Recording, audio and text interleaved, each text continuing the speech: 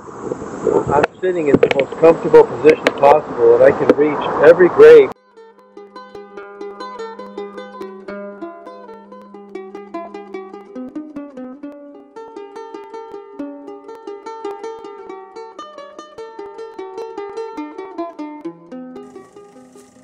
He's inspecting the green grapes.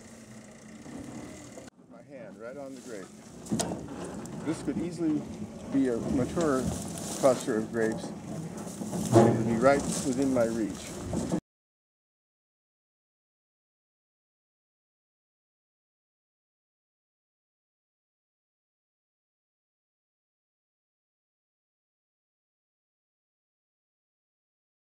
How, how wide are you? 24. 24, so you need a little bit on each side, but you know, you're trying to use all the ground you can use.